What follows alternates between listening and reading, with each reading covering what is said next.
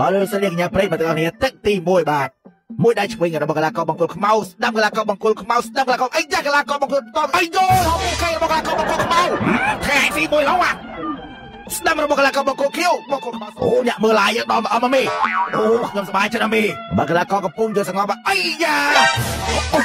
ហើយចុះមកកណ្ដាលអាកណ្ដាលកំពុងមើលឡាយឡើងមកអមខ្ញុំកាមេរ៉ាដាក់ឡាយវិញខ្ញុំមេជេអាចងាប់លុយអើយអាសុំសុំសុំសុំសុំទៅមកទោះវ៉ៃ បើលោកឃើញថាកីឡាករយើងក៏ពោះឡើងក្តៅម៉ាស៊ីនហើយអីយោបាច់ចិត្តបាទអីយ៉ាអីចាស្អីគេមីអ្នកមើលឡាយមើលឡើងមកអត់ដល់សក់តែមួយអ្នកមើលតាណាឲ្យ